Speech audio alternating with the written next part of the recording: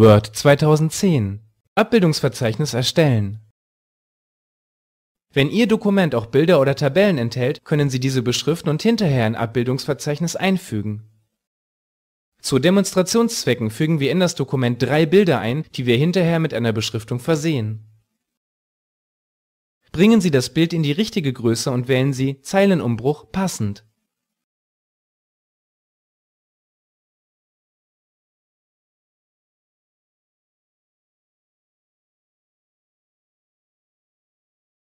Wir fügen ein weiteres Bild ein, passen die Größe an und wiederholen die restlichen Schritte von vorhin.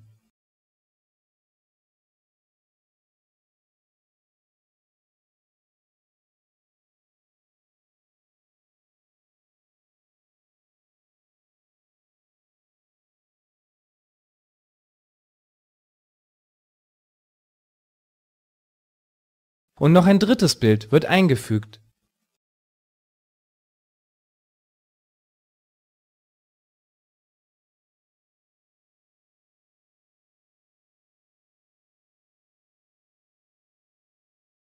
Nun markieren Sie das erste Bild, indem Sie darauf klicken.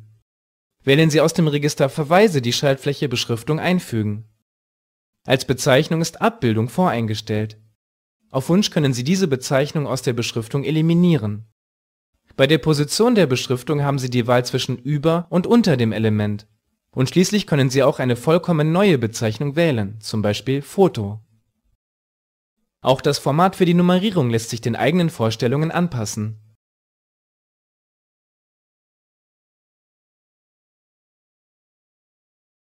Die Beschriftung wurde in diesem Fall unterhalb des Bildes eingefügt. Wenn Sie die Beschriftung für das zweite Bild einfügen, wird die Nummerierung automatisch angepasst, es erhält die Nummer 2.